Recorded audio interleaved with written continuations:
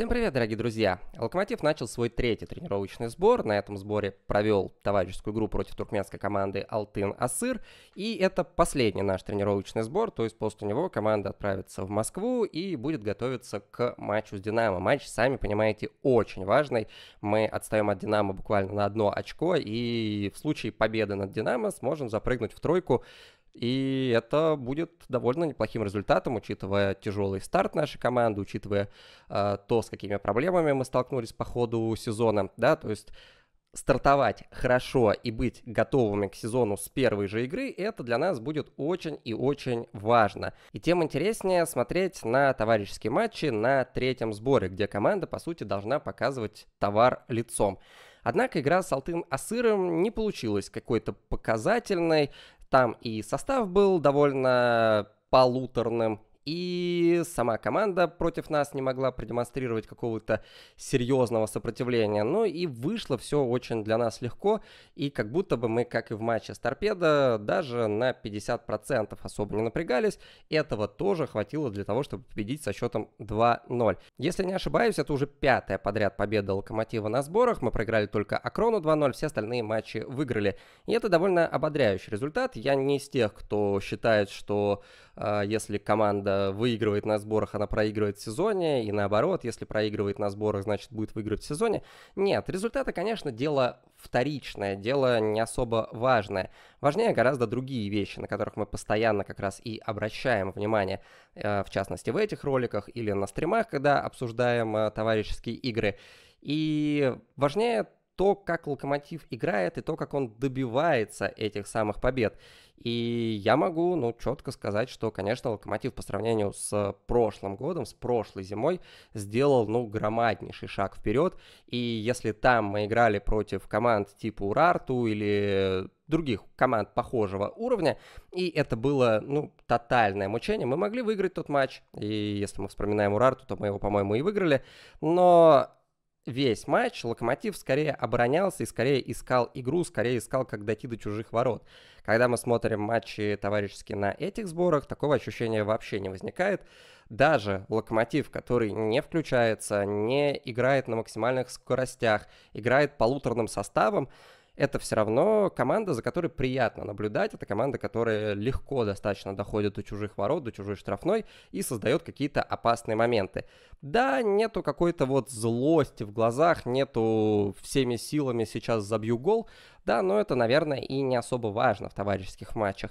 Но зато есть мастерство, есть техника, есть э, классные выходы из обороны в атаку, которые демонстрируются раз за разом. И благодаря этому Локомотив достигает результата с командами, ну, пока более слабого уровня, чем сам Локомотив, сильно более слабого уровня. Надо признать, да, что на всех трех сборах у Локомотива не было прям серьезных соперников. Да, Кайрат можно вспомнить, но там Спартак их тоже обыгрывал 6-0. Урарту можно вспомнить, но мы против них играли фактически вторым составом. Так что прямо вот посмотреть Локомотив в деле перед сезоном, наверное, у нас получится только в матче с Ростовом через неделю.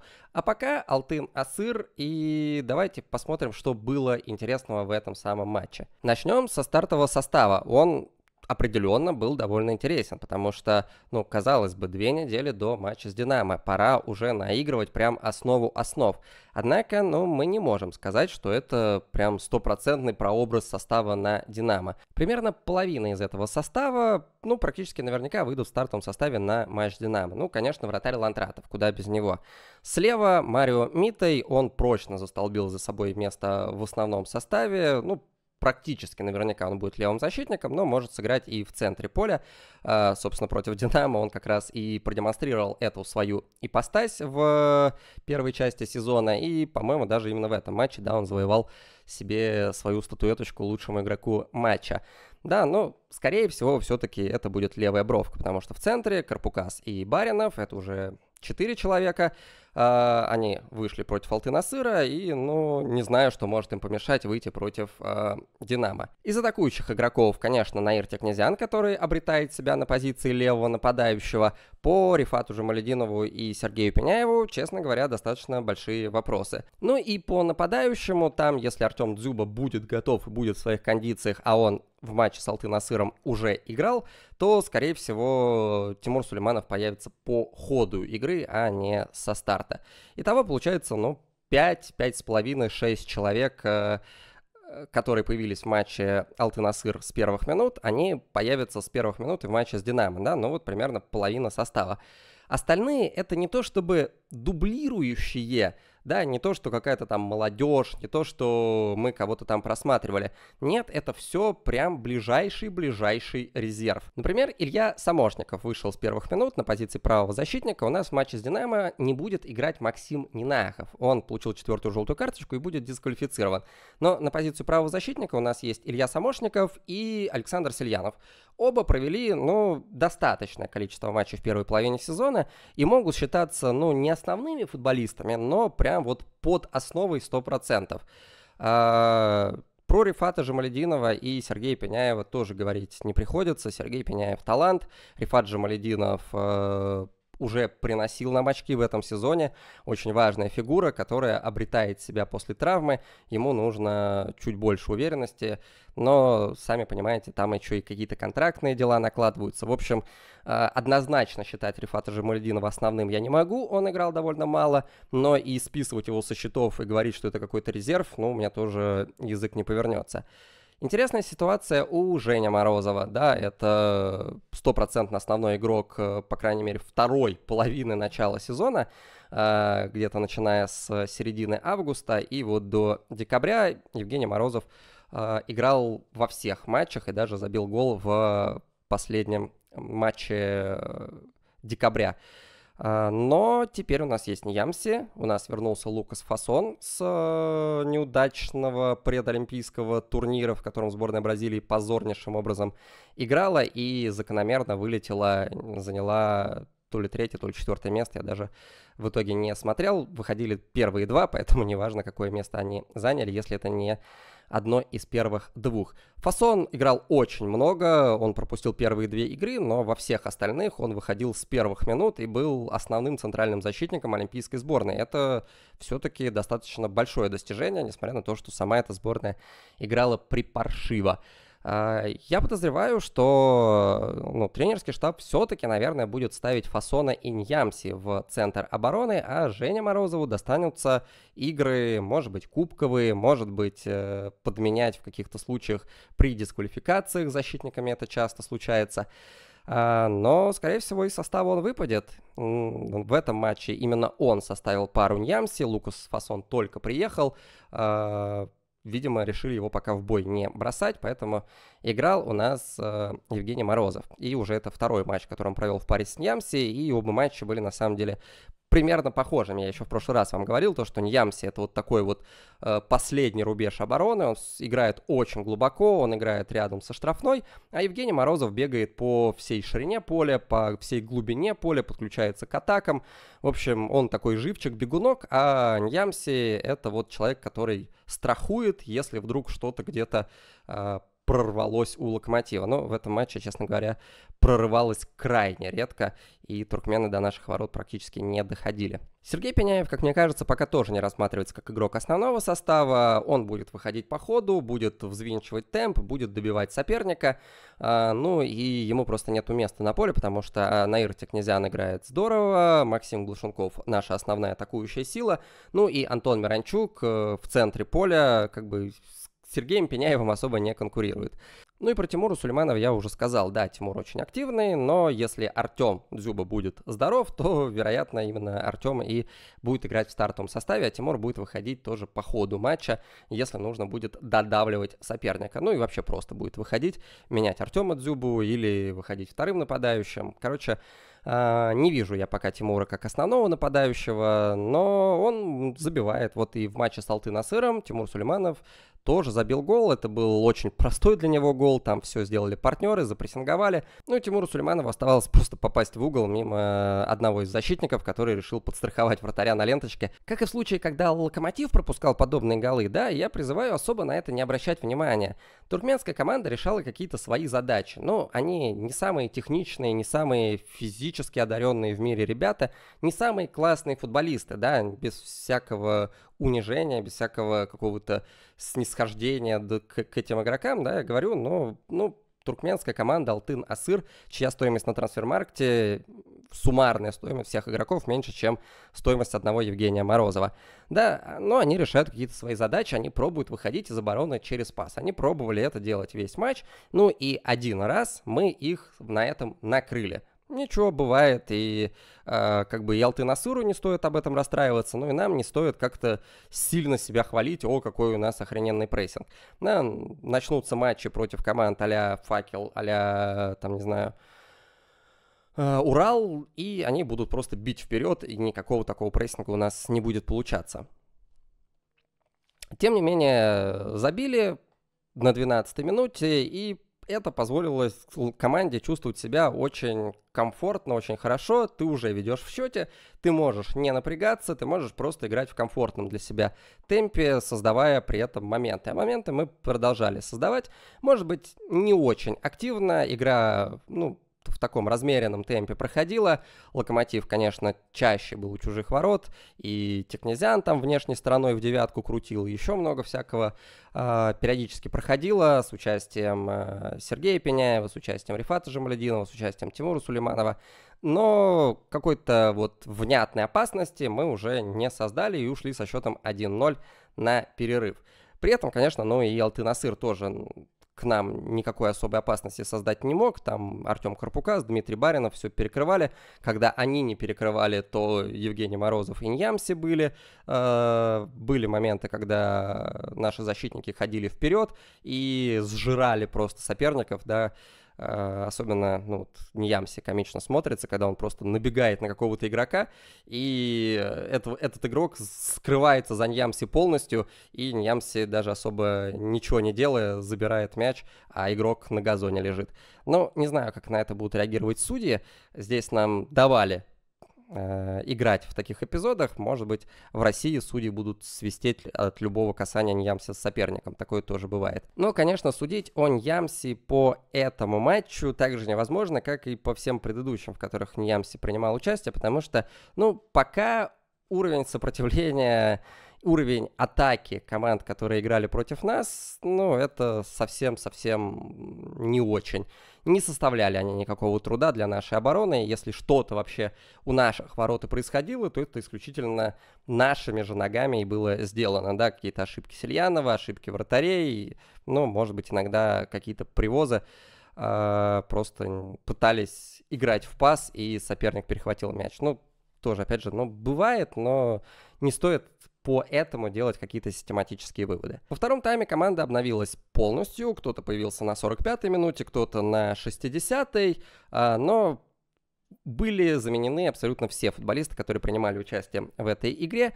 Из того, что важно, да, у нас появились Антон Миранчук и Максим Глушенков, они заменили Рифата Жамалединова и Сергея Пеняева, и, ну, надо сказать то, что это очень серьезно прибавило в активности у чужих ворот. Да, опять же, это никак особо не сказалось на счете, и на том, как мы тревожили вратаря соперника. Но надо сказать, что темп игры Локомотива повысился достаточно серьезно с выходом Антона Миранчука и Максима Глушенкова. А на 60-й минуте заменили, соответственно, там еще пол команды, три четверти. И что примечательно, и что стоит отметить, это, конечно, выход Алексея Батракова. С его выходом команда снова перестроилась на 4-1-4-1, как и во всех последних матчах, когда играл Батраков. И Лёша снова показал себя, ну, просто каким-то монструозным опорником. Я, честно говоря, не особо знал об этих гранях его таланта, да, но всегда Алексей Батраков для меня это человек, который созидает, который одной передачей там отрезает всю команду, который играет быстро, который играет нестандартно который может забивать и атаковать в чужой штрафной площади. А тут нам Галактионов открывает Батракова опорника, и Да, с одной стороны, это отодвигает Батракова от чужих ворот, и это, ну, скажется, конечно, на количестве голевых моментов Батракова. Но с другой стороны, это открывает нам грани его чтения игры. Алексей Батраков практически не вступая в единоборство, он делал там какие-то подкаты, да, какие-то контактные отборы мяча у него тоже были, но за эти 30 минут, которые у него были, практически не вступая в единоборство, он, наверное, стал лидером по количеству возвратов мяча. Он просто оказывался в тех точках, куда прикатывался мяч. Он просто этот мяч прикатывался ему в ноги от соперников. Или отскакивал от соперников, или передачу перехватывал, или где-то грамотно подскочил и отобрал этот мяч, не вступая, собственно, в отбор или в подкат какой-то. Это, ну, это потрясающее умение. Это оно говорит о том, как Батраков чувствует игру, как он чувствует мяч, как он понимает, куда этот мяч пойдет, куда можно сделать передачу сопернику, куда он будет делать эту передачу. Но это чистый восторг, потому что, казалось бы, ты выпускаешь маленького субтильного мальчика 2005 года рождения, э, основное умение которого это делать передачу вперед, у тебя, по идее, после Карпукаса и Баринова опорная зона должна начать проседать. А она вообще не проседает. И ты получаешь возможность выпускать еще больше атакующих футболистов, а в опорной зоне у тебя человек, который может отдать передачу в любую точку поля и практически моментально. То есть он чувствует, э, уже получая мяч, он точно знает, где какой партнер располагается и кому эту, кому эту передачу можно отдать. Это очень крутое умение. И я, честно говоря, очень надеюсь, то, что мы увидим Батракова в сезоне, и мы увидим вот эти самые 4-1-4-1 с ним в составе, потому что, ну, оружие как будто бы получается очень грозное. И вообще, ну, главное впечатление этого матча, ну, для меня это, конечно, Алексей Батраков, потому что, начиная с 60-й минуты, когда он вышел, ну, я больше, чем его фамилию, не называл вообще ничью. Он постоянно был с мячом, ему доверяют партнеры, ему он сам этот мяч находит, как я уже говорил, да, что он просто берет и забирает его у соперников, особо как будто визуально не прилагая к этому усилий. И спокойно с этим мячом абсолютно зрело обращается, и когда надо придержит, когда надо отдаст назад, когда надо ускорит атаку и резко даст передачу вперед. Да, э, в этот раз, опять же, не получилось у Бутракова как-то отличиться, не получилось отдать голевую передачу, хотя попытки были, но, тем не менее, игра Батракова, она абсолютно не по годам зрелая. Второй гол мы снова забили с прессинга. На этот раз это Максим Глушенков отобрал мяч на фланге, вошел в штрафную, попробовал сделать передачу на Дзюбу, она не получилась, и он сам вогнал мяч в сетку ворот. Но тоже, опять же, такой гол, который, ну, сложно как-то к чему-то привязать. Ну, хорошо, что отобрал, хорошо, что мяч отскочил снова Глушенкову, и тот его воткнул в сетку. Э, было бы приятно, если бы передача прошла на Хамулича, и Хамулич бы отправил мяч в пустой угол. Но надо сказать, что у Хамулича пока игра вообще не идет. Если пора Ньямси в обороне я не могу сказать ничего плохого, но и хорошего сложно сказать, но плохого точно ничего сказать не, нельзя. Uh, Ньямси стабильно, играет надежно то вот про Хамулича сказать плохого можем практически в каждой игре. Да, вот с э, Урарту он не реализовал выход один на один. Здесь, ну, несколько раз принимал мяч и терял его, э, принимал какие-то не самые правильные решения. Э, в общем, ну, пока ни к селу, ни к городу, хотя на этот раз его выпустили на левом краю атаки, более-менее его позиция – но к мячам он не успевал, а когда ему отдавали в ноги, он обычно тянул мяч вперед и падал. Ну вот один штрафной опасный заработал, молодец, но, собственно, опять же, вот возвращаясь к тому, что я писал в Телеграме, а, если вся польза от Хамулича будет в том, что он будет брать мяч и зарабатывать нам штрафные, но это не совсем то, что нужно брать за 2,5 миллиона евро. Надеюсь, что еще раскроется, но вот эти товарищеские матчи пока на позитивный лад нас не настраивают. Ну и, кстати, да, тоже отметим, что в середине первого тайма Тимур Сулейманов получил повреждение, вроде как ничего серьезного, но э, тренерский штаб решил его заменить и заменил не на Хамулича, да, то есть нашего центрального нападающего заменили на Дмитрия Радиковского. И Радиковский свой отрезок, там минут 20, отыграл на самом деле очень неплохо, очень убедительно, много единоборств выиграл, тянул мячи вперед, делал неплохие передачки, то есть, э, ну, как будто бы попытка посмотреть на Хамуль центрального нападающего в матче с Урарту, она, э, собственно, э, показала, что не рассчитываем, лучше уж Дмитрия Рудиковского ставить, чем э, выпускать Хамулича. Ну, может быть, только догадки, да, может быть, э, Хамуличу было уготовано 30 минут в концовке и не более того. А, но это довольно занятное наблюдение, да, что при форс-мажоре, при травме Сулейманова выпустили Радиковского на 20 минут, а не там не Дзюбу, не Хамулича, а вот, вот молодого попробовать. А, собственно, да, Вадим Раков или Миша Щетинин в этой игре вообще не появлялись. Алексей Батраков сыграл 30 минут, и это была плановая замена, а Дмитрий Радиковский это была абсолютно незапланированная э, замена в середине первого тайма, и на второй он уже не вышел, вышел Артем Дзюба. Артем Дзюба был инертен, но что вообще ждать от человека, который пропустил весь второй сбор и сейчас только-только нагоняет всех остальных и по физической форме, и по игровому тонусу. Э, все-таки много он не играл в футбол, пока остальные это делали. Так что вот, э, на самом деле странный матч получился. Вообще ничего, как мне кажется, не говорит о готовности Локомотива к Динамо или не готовности Локомотива к Динамо. И сложно понять, что хотел посмотреть тренерский штаб, выпускает такой состав и э, делая замены всей команды э, к 60-й минуте. Да, то есть, ну, как будто бы пора уже наигрывать основу, наигрывать тех, кто будет играть по 90 минут, а у нас остался один товарищеский матч с Ростовом, и ну вот на третьем сборе мы до сих пор меняем всех на всех. Посмотрим, тоже, да, как бы это и не минус, не плюс, но информации у нас довольно мало.